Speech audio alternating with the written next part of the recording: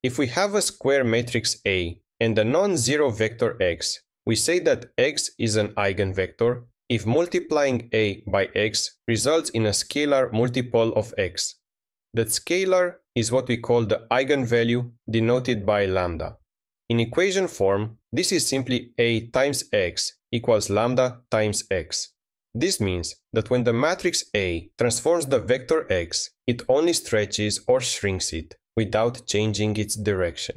Now, let's see how we can actually calculate these values.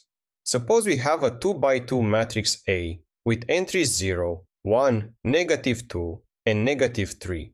We want to find the eigenvalues and eigenvectors for this matrix. We start by rearranging our definition equation. We can rewrite the right side using the identity matrix I, so it becomes lambda times I times x. Bringing everything to the left side, we get the quantity A minus lambda I all times vector x equals the zero vector. Since we defined x to be non-zero, the only way this equation holds is if the matrix A minus lambda I is not invertible. And if a matrix is not invertible, its determinant must be zero. This gives us our characteristic equation. The determinant of A minus lambda I equals zero. Let's compute this for our example. Subtracting lambda from the diagonal entries of A, we get a new matrix. Calculating the determinant gives us a quadratic polynomial, lambda squared plus 3 lambda plus 2. Setting this polynomial to 0 allows us to solve for lambda.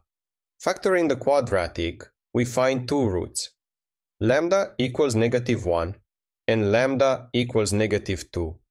These are our eigenvalues. To find the corresponding eigenvectors, we plug each eigenvalue back into our equation. For lambda equals negative 1, we substitute it back and solve the resulting system of linear equations.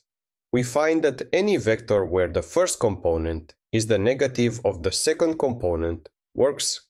For example, the vector 1, negative 1.